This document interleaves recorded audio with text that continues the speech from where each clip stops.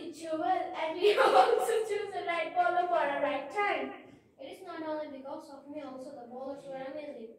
Follow the same for all the matches and score many centuries and win many trophies. Oh, sure, thanks. Who and how is your coach in this match?